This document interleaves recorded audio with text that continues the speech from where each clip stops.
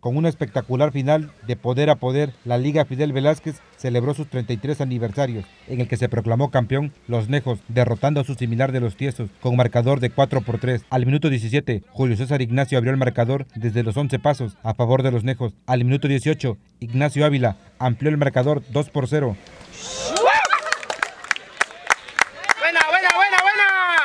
Corría el minuto 25. Gonzalo Cruz acortó la distancia desde el manchón de cal y poner el 2 por 1. José Salgado se hizo presente en las redes al minuto 28 y regresar la calma a los Nejos, marcando el 3 por 1. Finalizaba el primer tiempo. Gonzalo Cruz descontaba nuevamente por la vía del penal, marcaba el segundo en su cuenta particular y regresara a la pelea a los tiesos antes de que finalizara la primera parte. Para la parte complementaria, Julio César Lumbraño emparejaba el marcador 3 por 3 tras un grave error del arquero del equipo de los Nejos.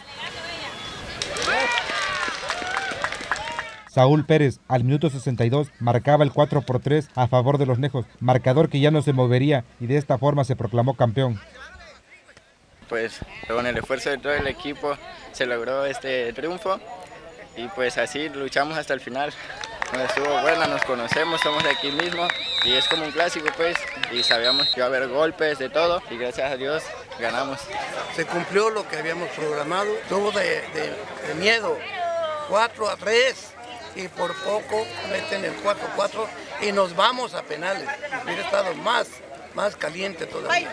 Pero, Se entregaron, ¿no? Los dos equipos. Sí, no, sí. Tienen buenos jugadores. Siempre ha sido esta, esta zona de aquí de, de Cayaco, siempre ha tenido buenos jugadores. Se entregaron botines al campeón goleador del torneo, reconocimientos y uniformes a ambos equipos, trofeo para el campeón.